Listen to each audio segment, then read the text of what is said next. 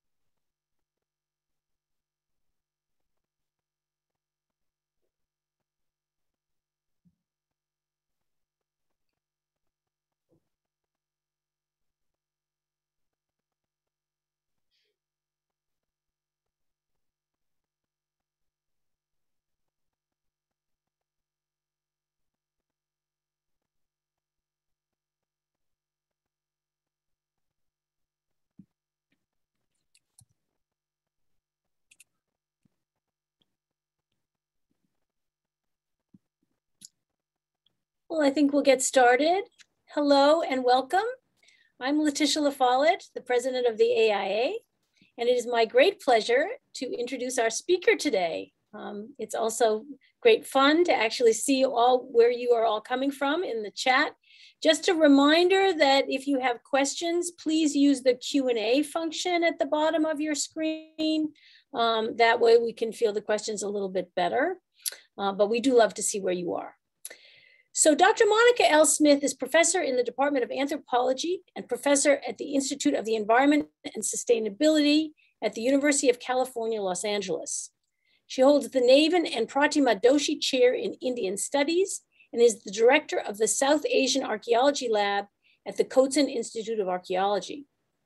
Dr. Smith received her BA in Classical Studies, Ancient Rome and Greece, at the University of California, Santa Barbara her MA in archaeology from UCLA, and her PhD in anthropology from the University of Michigan. Dr. Smith's extensive field experience includes participations on projects in eight countries, England, Italy, Tunisia, Egypt, India, Madagascar, and Bangladesh, as well as with the National Park Service in the American Southwest. Her books include the, include the recent cities, The First 6,000 Years, A Prehistory of Ordinary People, published by Simon and Schuster in 2019, which I highly recommend. And I don't know if you can actually see the picture. Um, I have the book right next to me. Um, Dr. Smith's talk today is entitled The Secrets of an Ancient Indian City, and it is informed by her long-running archaeological project in Eastern India that she co-directs with support from the US National Science Foundation, the National Geographic Society, the Wenner-Gren Foundation for Anthropological Research, and the American Institute of Indian Studies. Welcome, dear Monica, and thank you for agreeing to share these secrets with us today and launch the 2020-21-22 season of the AIA series Archaeology Abridged. I'll turn it over to you. Thank you so very much. It is really wonderful to be here for the AIA and for a wonderful international audience. It is always fantastic to be able to talk about an amazing part of the world, and that is the Indian subcontinent, and to be able to talk about our research projects and to talk a little bit about what it is that makes archaeology so fascinating from the perspective that you don't necessarily see in the movies and on TV. So this is the real deal. And I want to take you now to my screen where we will talk about this amazing opportunity to think about the secrets of an ancient Indian city. And you'll notice here that I also want to bring in my colleague, friend, and co-director, R.K. Mohanty, with whom I have been working for about the last 20 years or so. And uh, here we are in Eastern India, and we have not only been working together, but also traveling and seeing other archaeological projects and working with colleagues from the Archaeological Survey of India, which is the government body of archaeology in India, and the Orissa State Department of Archaeology, and many, many wonderful Indian colleagues and graduate students from all over the subcontinent. And so uh, when I say we, I really mean a, a, really big team of people who have been working with us uh, for a very long time, and all of the local individuals who are also working on our team. So uh, first and foremost, thanks to them as a way of understanding how it is that archaeology is really all about teamwork.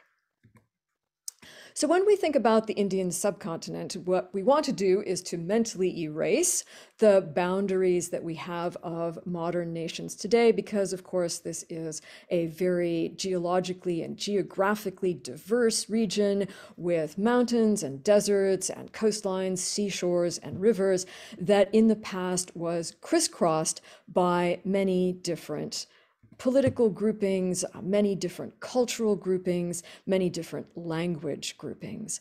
And the time period that my colleagues and I are particularly focused on is what's called the early historic period. So this is the time period from about the 3rd century BC to the 4th century AD. And this is a time when there were some very significant developments in the Indian subcontinent that afterwards, of course, had a long resonance. Uh, one of them is Buddhism and closely related and alternative religions such as Jainism and Ajivikism that were brought into existence by real individuals and then became part of the long running religious continuity of the Indian subcontinent. So that's one of the things that's happening in this time period of the early historic, which is, you know, when you think about it, roughly contemporaneous, of course, with the Roman world. So while the Romans are in the Mediterranean and the Han are in China, we also have very many diverse, active, political and religious groups happening in the Indian subcontinent. Another thing that's very important about this time period is that this is when we get writing that we can actually read. If you're familiar with the Indus culture of the second millennium, uh, BCE, then you'll notice that there are also some writings from the Indus period, but we can't really read them, and they're very short, uh, so that if we ever decipher them, they are probably not going to tell us a great deal. In contrast, by the early historic period, we have lengthy texts, many of them in stone inscriptions that are political proclamations. We later have religious texts, and then we have poetry and drama and medicinal texts and many other things that enable us to understand directly from the words of the ancient people of that time. And the third very exciting thing that we have developing in this early historic period is the development of cities. And this is a contemporary 2,000 year old depiction of an ancient city. And it really gives you that vibrancy of the early urban environment that you have people in tall buildings and you have people out there in the public places, you have animals, you have architecture, you have that kind of urban hubbub that is really the hallmark of urbanism wherever and whenever in the world we find it. So, the thing about this early historic period is that all of these things come together. You have these new religious movements, you have writing as a way of political and social documentation, and then you also have the development of urbanism, where you've got thousands of ordinary people coming into these vibrant urban locales. So you might ask, well, if there are so many wonderful, vibrant urban locales, how did I pick? You know, how do archaeologists actually identify places that they want to go and work? And knowing that these research projects often take many, many years and really become part of a person's career in so many personal and professional ways. So this is how Shishupalgarh, the city of which we will speak secrets today, came into my professional perspective. I had actually done my dissertation research in central India, and that was at a relatively modest town sized site where I looked at the integration of that town with its economic hinterlands. I found that people were well integrated with a wide variety of raw materials stretching out dozens or even hundreds of kilometers into the hinterlands. And I asked myself, if that's what happens in a town, what happens in a city? So I looked around at the published records of about 100 archaeological cities that are known from the Indian subcontinent, and I was fortunate to be able to locate a site that had a very distinctive quality. Now, this is a site that was intensively occupied and that had some of the very first independent research in India in the 1940s, including some very early aerial photography. And you'll see from the magic of aerial photographs this magnificent surrounding fortification wall. And when you visit the site today, you still have that sense of magnificent grandeur that endures after 2,000 years.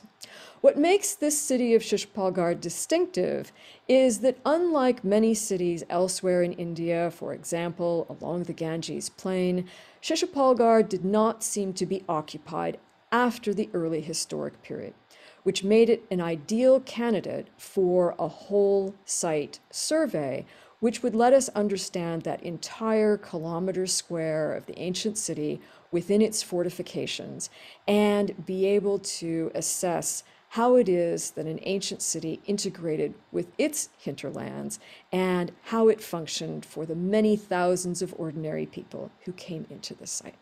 So this is an image of the monolithic pillars that are at the center of the ancient city of Shishupalgarh that are still standing after these many hundreds of years.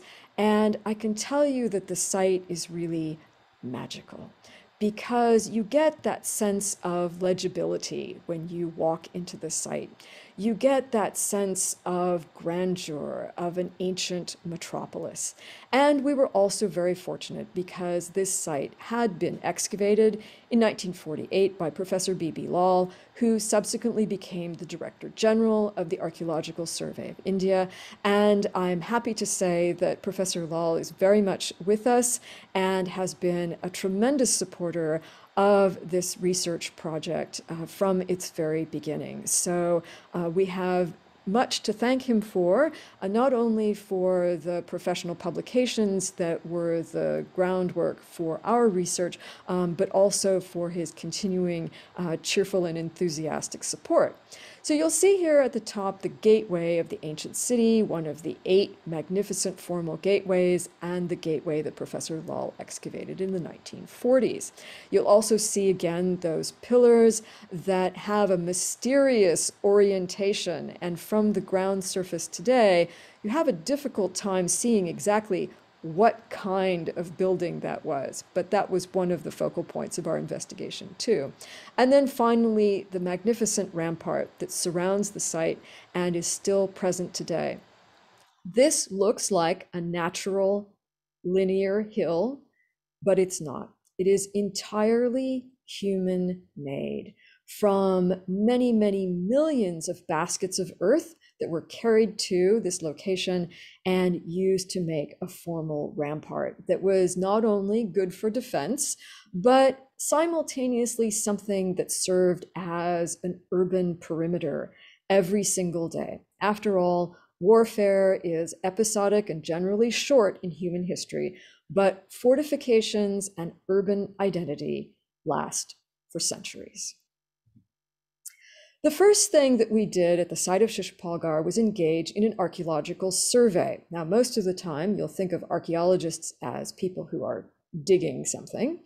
And yet, before we dig, we certainly want to get a good look at all the other aspects of the city that we can see. Because an archaeological site the size of a city is enormous. There is no such thing as an archaeological city that has been fully excavated because they are just too large.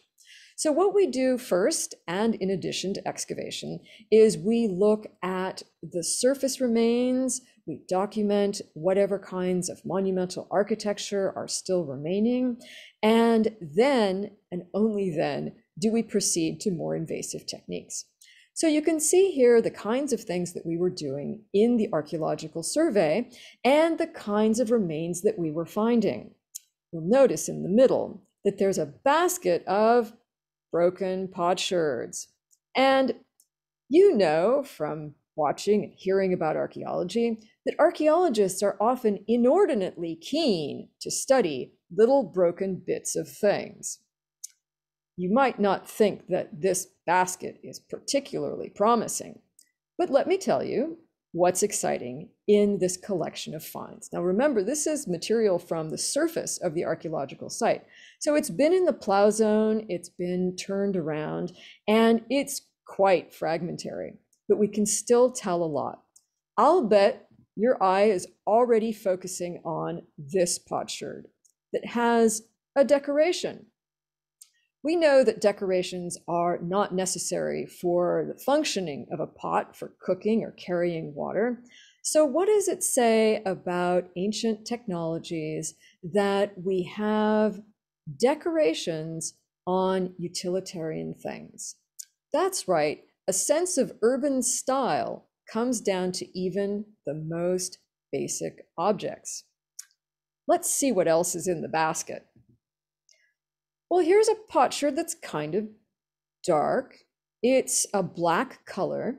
And now you realize that there are very few black potsherds in this basket of the collection from a particular unit on the surface of the site. Now, why is that? Well, one of the things that we're thinking when we analyze this pottery is that black potsherds actually take a little bit more labor to make because you have to close the kiln so that no air gets in. So pottery is naturally red. And if you look at, for example, the uh, pots that you might have on your balcony, those terracotta pots, you'll see that they're red because that's the natural color that pottery gets when clay is fired and it turns red in the kiln in the process of hardening. To get a black potsherd, you've got to close that kiln, which takes more work. Now, if you're thinking about pottery and labor investment, you're thinking about how the ways of making things indicate what people are willing to pay extra for. And what we can see from these kinds of potsherds is that while black pottery might have been attractive, it probably wasn't worth the extra cost for most of the people living at the site. So it turns out to be a little bit rare. The third thing that your eye might be falling on is this. This is the rim of a huge vessel. And you know from looking at your own teacups or your own cereal bowls that the diameters are indicated by even just a little piece of the arc when you're unfortunate enough to break something in your own kitchen. But this potsherd could only have come from a really large vessel, which means that it's the kind of thing that people are using to cook or store in quantity. And what we found over the surface of the site is that not everybody's got these big vessels. So even from surface remains, you can start to look at the differentiation of an urban economy on a scale of thousands of people's uses of artifacts. Suppose you want to go a little bit deeper. You want to go under that surface and see what it is that's happening under there and with the kinds of constructions or different activity areas in the regions of those famous pillars that you can see here in the background, um, or underneath all of that thick grass where you can't even collect artifacts because they're obscured by the vegetation. Magnetic gradiometry and other techniques of remote sensing are magical ways of looking at the subsurface of a site even before you dig or in conjunction with excavation, because this methodology can cover a much larger area than would ever be possible to excavate. And so this is what we did in collaboration with Timothy Matney of the University of Akron, who came over and was able to look at large areas of the site.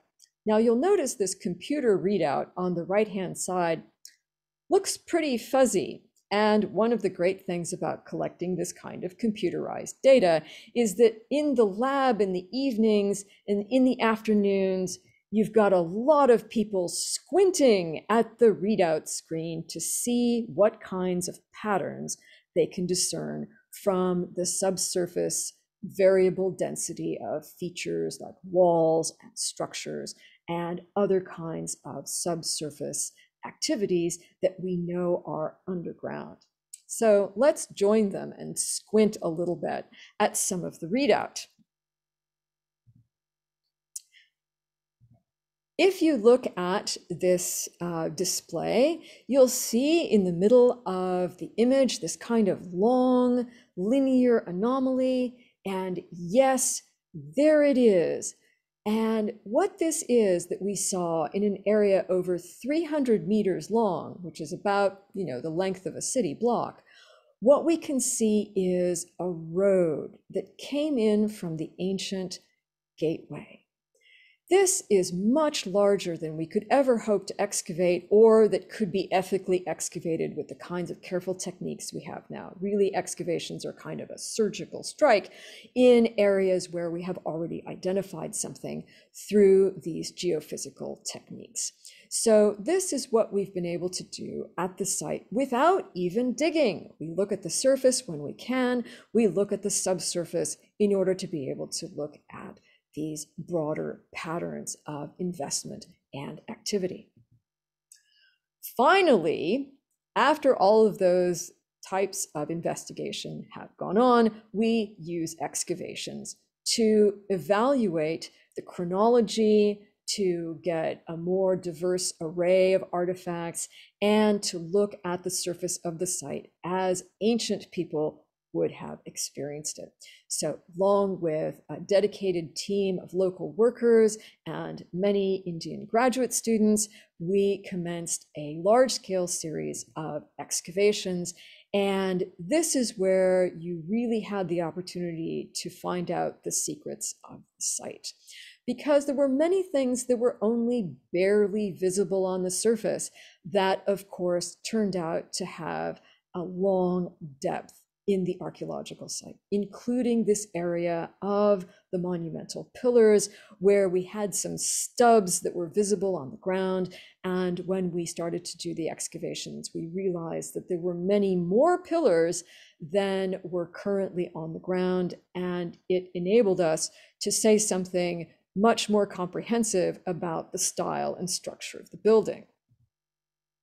And it was a very exciting time, of course, as you can imagine, because as the students were excavating in their individual trenches, we would hear things like, I've got a pillar, and I've got a pillar. And somebody else would say, Yes, I've got two in my trench.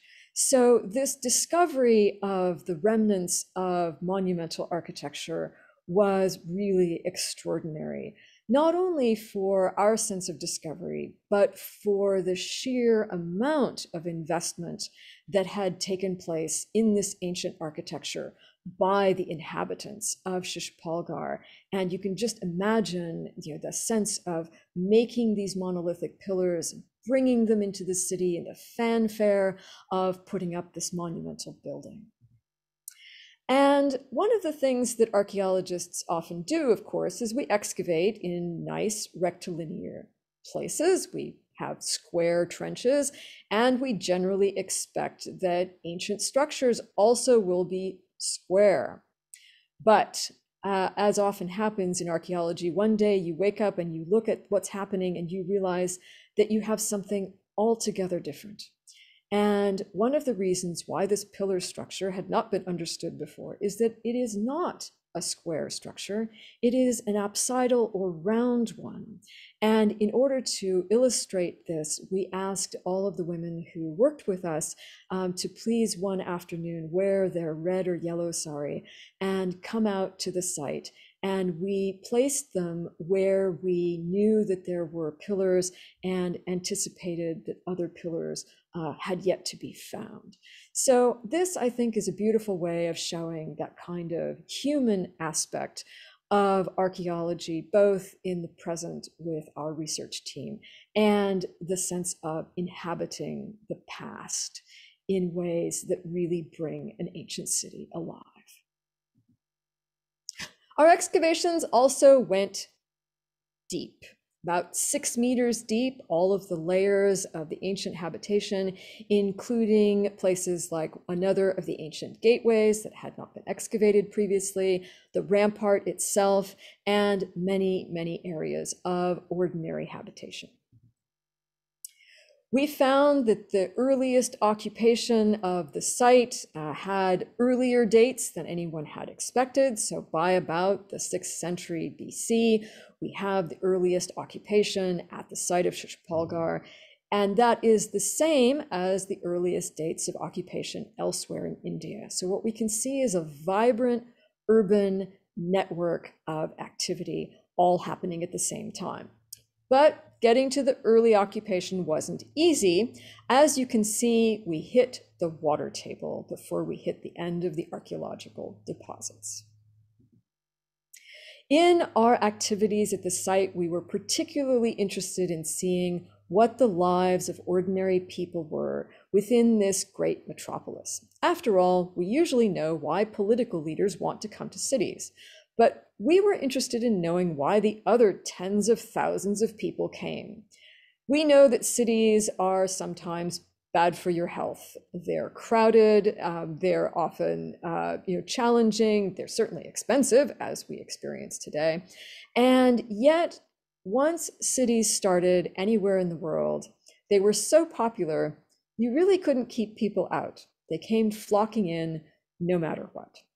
And so we see this effect also at Shishpalgarh, where we have these many houses that are juxtaposed in crowded neighborhoods and would have provided a very lively urban scene. We know that many of the housing structures were sort of of the do-it-yourself variety, um, that people were using broken materials and reused bricks in ancient times. It was a kind of uh, architectural recycling that then enabled them to modify their houses and structures as they saw fit over the course of their individual and household lifetimes.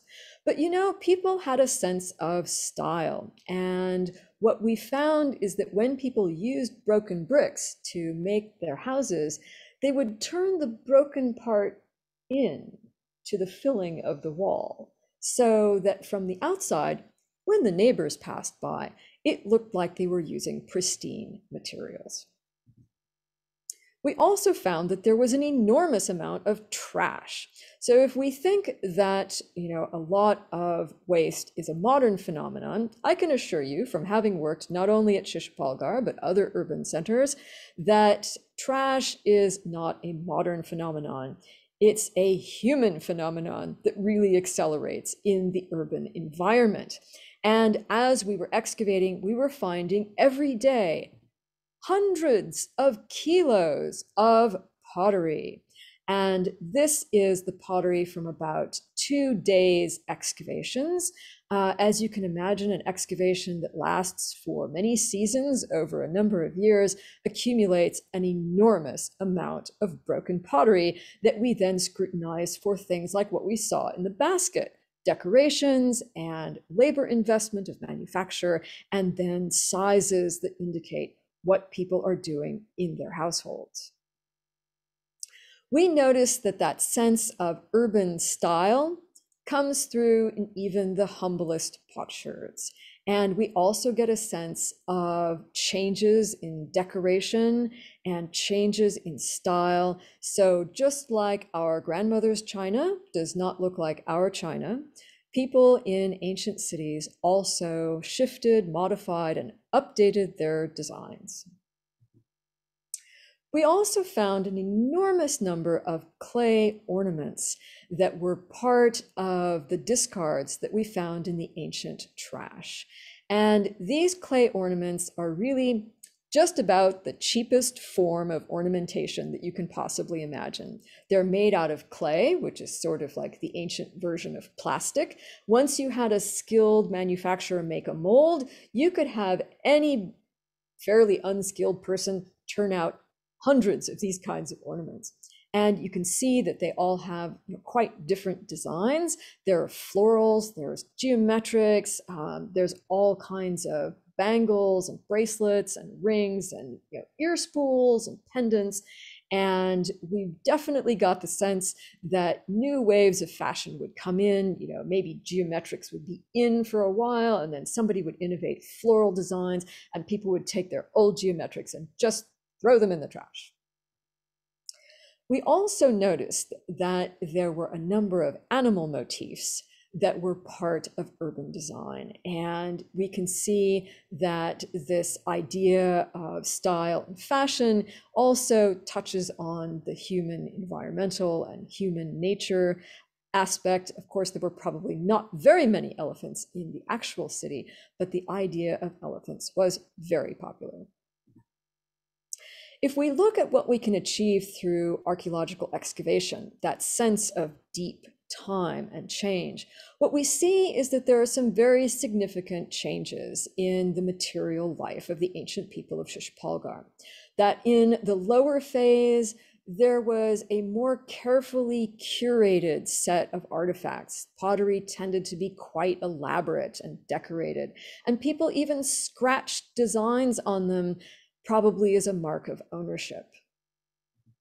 As the city went on hundreds of years later, what we saw is a gradual movement towards exuberant efficiency and that kind of old style, labor intensive black pottery no longer was made. Um, this is when you start to get many more terracotta ornaments, very rapidly made kinds of um, pottery, um, very expedient kinds of designs, and then also things like permanent architecture. So in the early parts of the city, um, we don't have these kinds of bricks and tiles from permanent architecture. So people are clearly making their household investments in different aspects that include things like architecture rather than such careful curation of artifacts.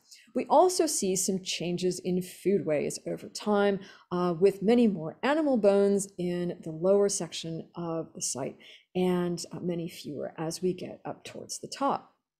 The amazing thing is that this transition period, what would have been a significant change in lifeways that would have made grandparents and grandchildren have very different experiences in their urban worlds is something that happened in a transition of maybe less than 100 years.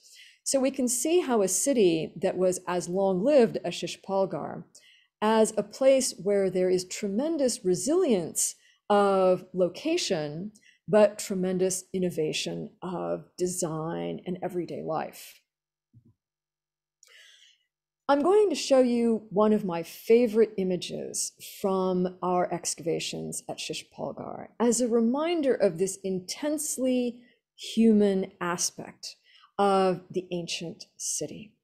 So one of the things that we do as archaeologists is that we dismantle architecture in order to be able to see how it was made, and then of course to be able to dig down from one layer to the next. In this moment of dismantling of the rampart wall, a brick wall that would have augmented those millions of baskets of earth, as we lifted up a layer of bricks, we saw this. These are the ancient fingerprints of the mason who was building the wall. And that moment is just a snapshot, like an instant of that person putting some mud in between the two layers of bricks to get on with the job. But it gives us a beautiful image of the people who made an ancient city possible. That legacy of our research, of Professor Lal's research, of outreach to communities has come in a variety of forms, publications, and interactions and media with many, many audiences. And it is absolutely a pleasure for us to be able to share this with you as the audience and as a way of thinking about a place that is very far away on the other side of the world for many of us, um, but one that yields some secrets that we then recognize in our own urban world as well. And so I would like to close with great appreciation to all of the literally hundreds of people who have worked on our project over the years, who have made this realization uh, possible and who have given us so many insights into the secrets of an ancient city. Thank you so much again for joining, and I very much look forward to the questions.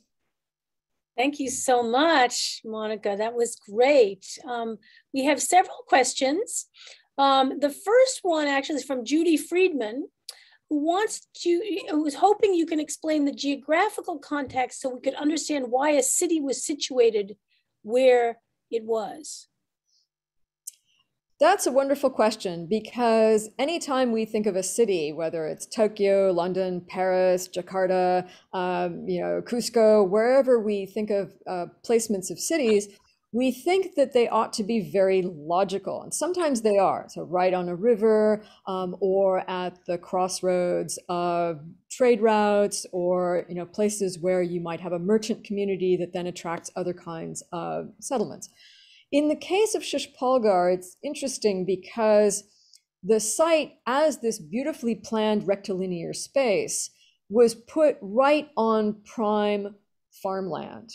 Mm-hmm. And if they had wanted to save their farmland and put the city in a location where it would not, you know, use up those resources, there is a laterite upland. So laterite is a kind of a compressed crumbly, uh, you know, non-agricultural kind of rock that is very hummocky and uh, you know it, it's it's a good substrate. It's very solid.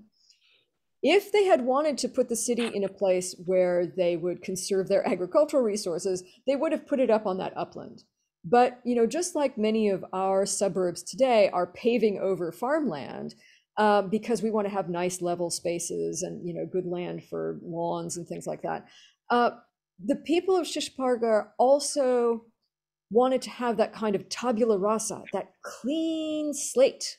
And that's why they put the city there. So they were sort of in between that laterite upland and the river, so close enough for trade, but they really had a sense of planning to make it perfect. Great. Um, so Valerie Thibault wants to know um, about the water table. Um, does the fact that you hit the water table mean that, of course, the water table was different in antiquity? Yes? Yes, very much so. So, one of the things that is the most difficult for archaeologists as well as anybody else to do is to look at a landscape and try to imagine it other than what we see right now with our own eyes.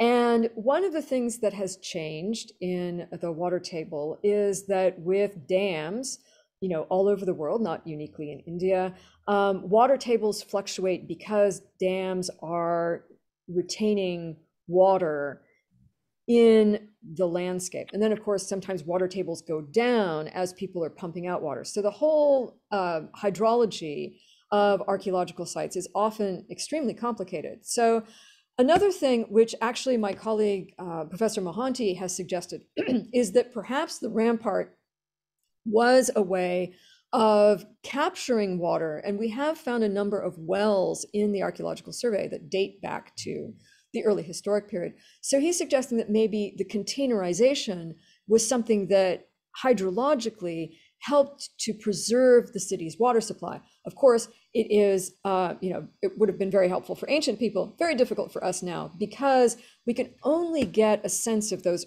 early levels because they're below the water table by pumping. That's the only way that we can see below that water table now. So all of the materials that we got from those lower levels were very hard won i can tell you from you know going down through and and pumping out as we were excavating it was it was a tough job yeah um, so several people are interested in um, what uh, you found that might connect to religious uh, events and, and religious developments at the time. So Buddhism, Jainism, uh, Ashoka, etc.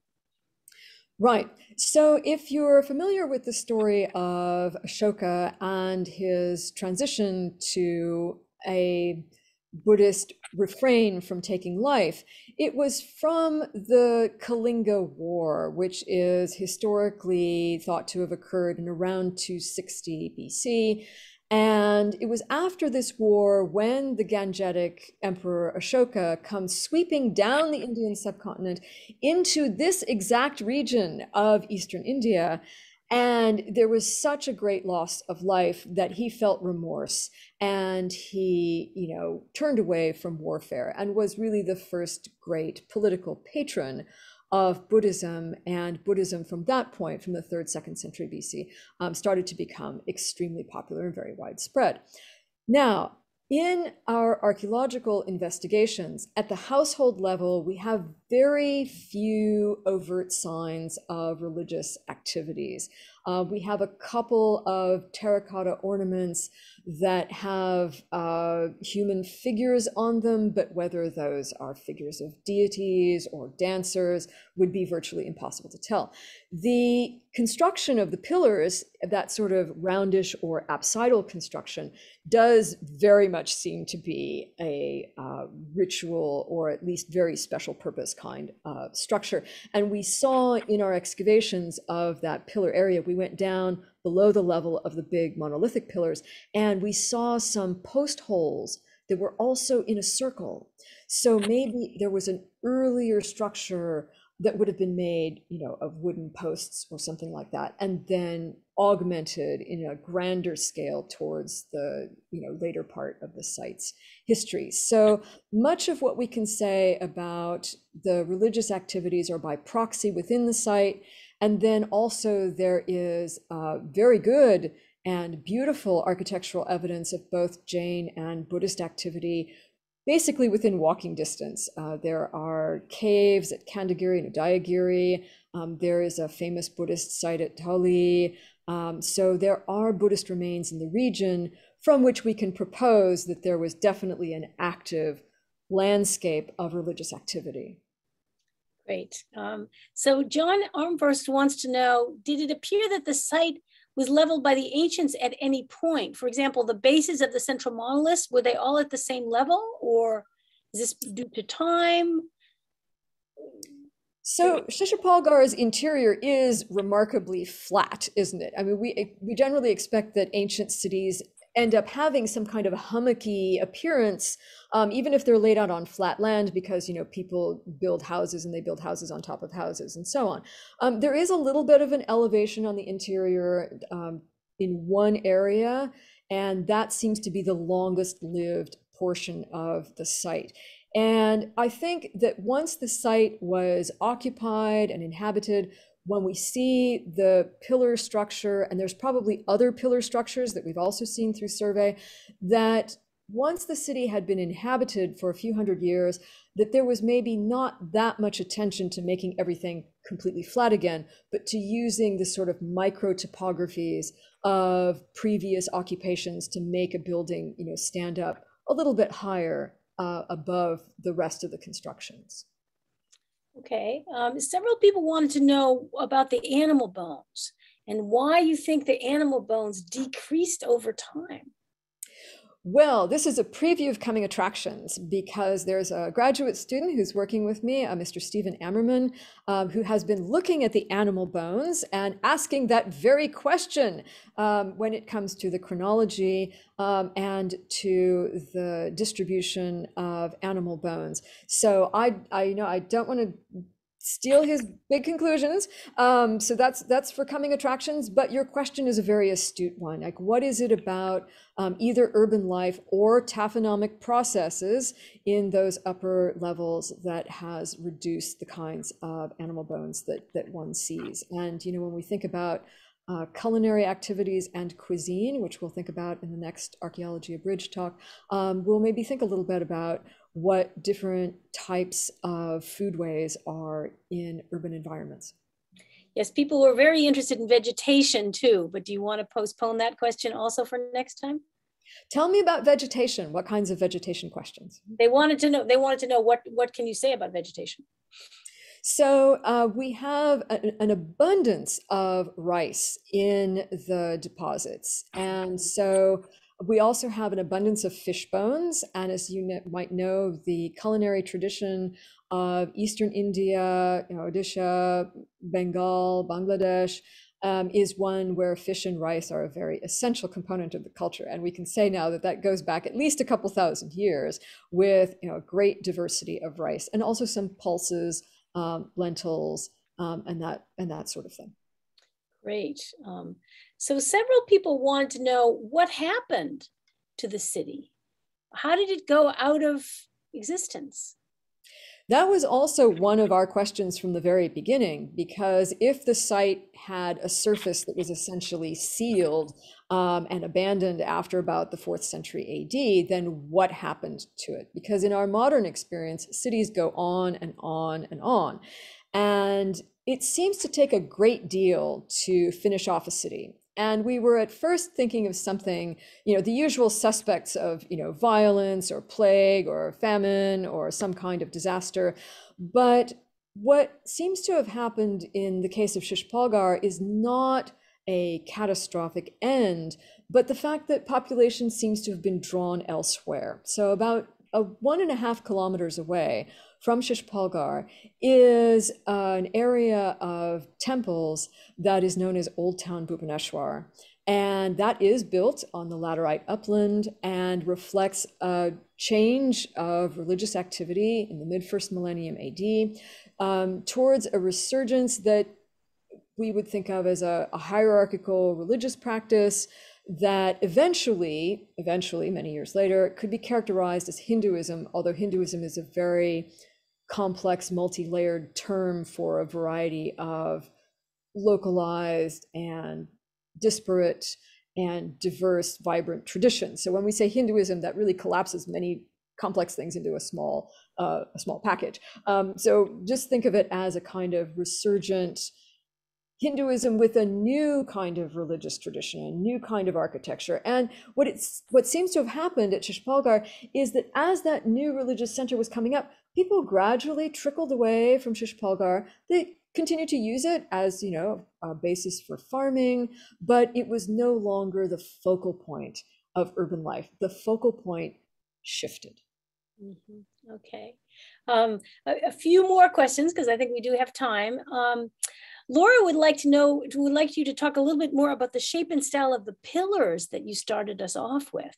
Mm-hmm. Um, and is there a functional reason for that shape and design or what explain a little bit what we were looking at yes so those pillars are essentially unique in the indian subcontinent as a series of freestanding monoliths uh, in the middle of an archaeological site these pillars are also made of laterite, which is that same kind of, you know, crumbly stone. They are very easy to, you know,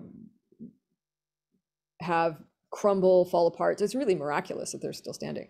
Um, we know from art historical depictions like the image that I showed you of urban life uh, that is contemporaneous to Shishupalgarh, but not from the site itself. Um, we can see the existence of pillars in the art of the time.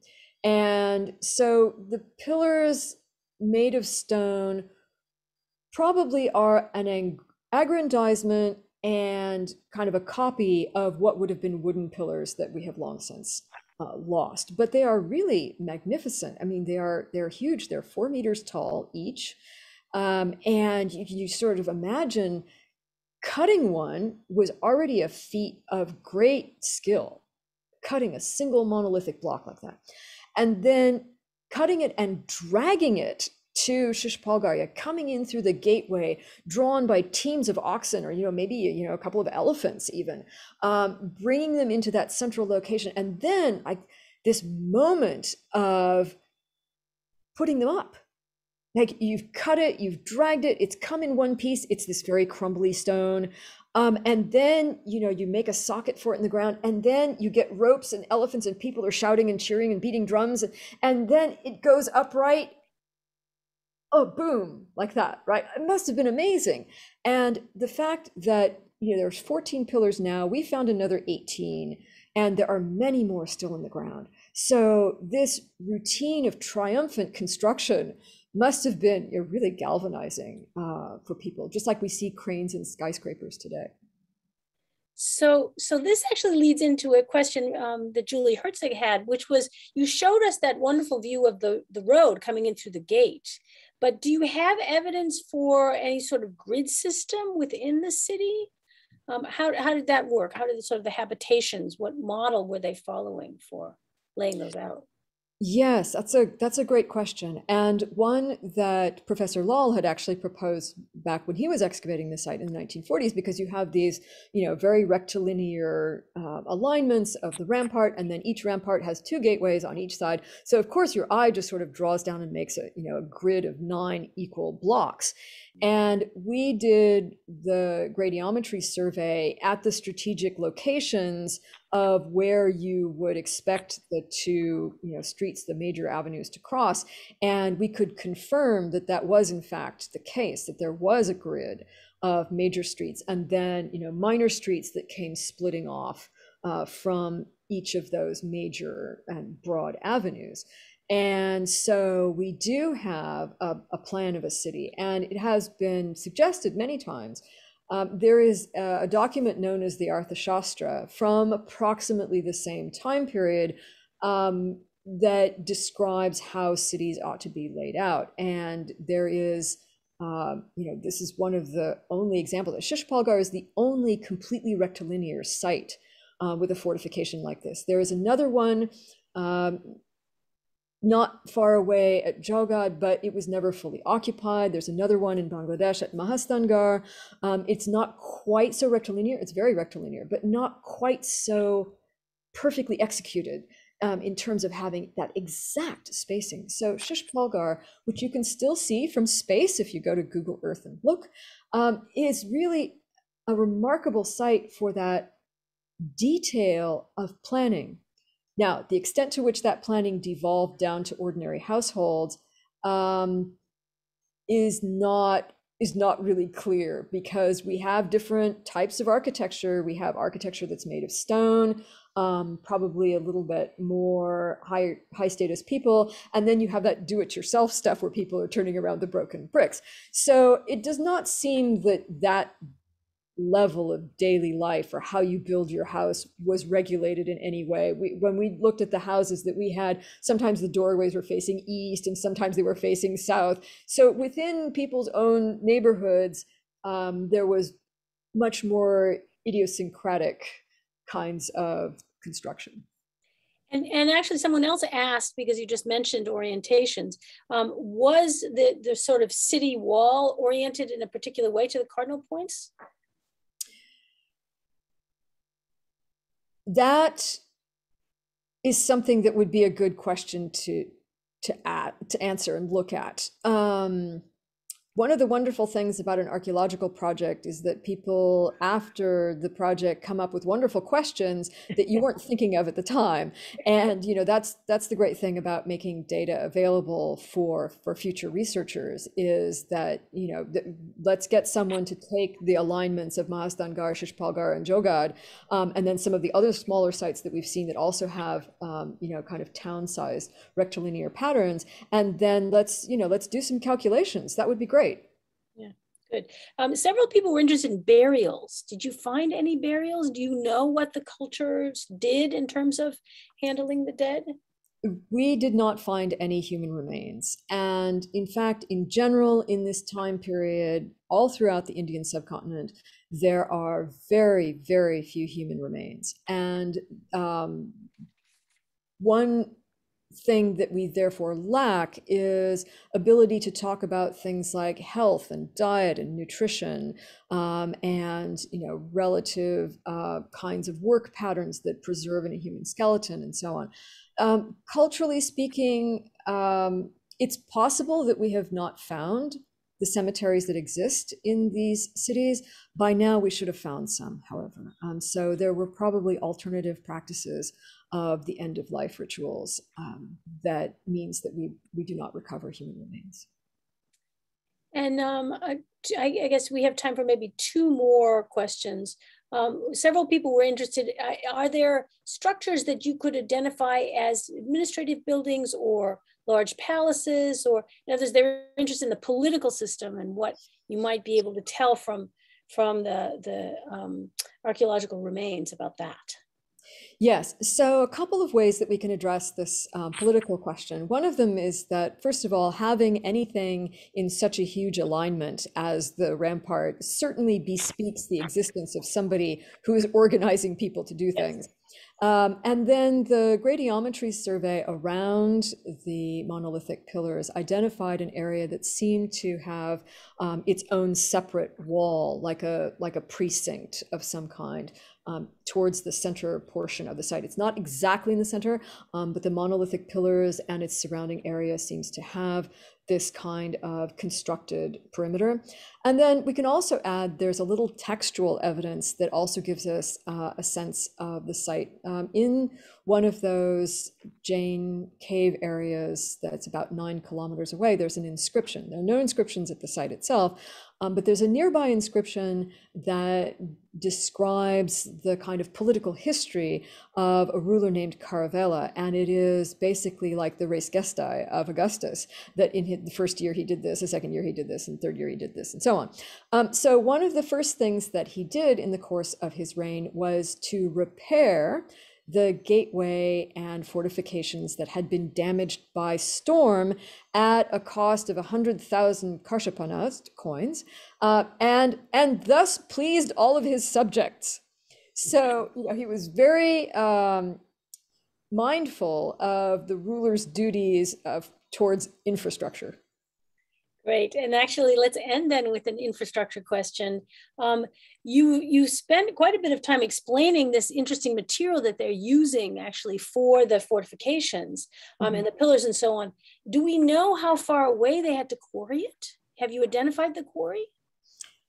So, one of the challenges of studying anything like mining and quarrying is that a good source of materials is something that will be mined afterwards, um, so that the exact locations of the mining of these pillars and the many other types of stone blocks that were used um, has probably long since you know filled in or been you know car carved away by medieval people building the temples of Old Town Bhubaneswar. We know that the laterite for the monolithic pillars is particularly compressed and, and fine, which of course you would need for something that large to be able to move it. Um, but we have not identified the, the specific location from which the pillars uh, would have come. I would probably suggest it was the minimum viable distance of good quality uh, materials. Right, just for practical reasons, exactly. Um, well, thank you so much. This was fabulous. Um, I want to just tell everyone who's still on, and you've kept most of the audience, which is quite a feat. Um, we will be posting this recording in a few days, so please visit the AIA's YouTube channel to view it. Also, you will see recordings of our past Archaeology Abridged lectures from last year.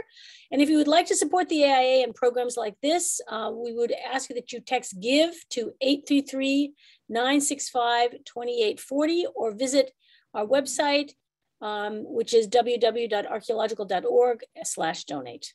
Thank you again. Um, we really appreciated this. And um, uh, we will be back with this, your next lecture next month. Um, and do you want to tell us the title now so people can actually make a note of it? Yes, so it's about the history of Indian food going all the way back to our earliest archaeological remnants and then up through the present. So um, I think that it will be a wonderful time for you to have a South Asian lunch ready. And I look forward to talking with you again soon. Thank you so much.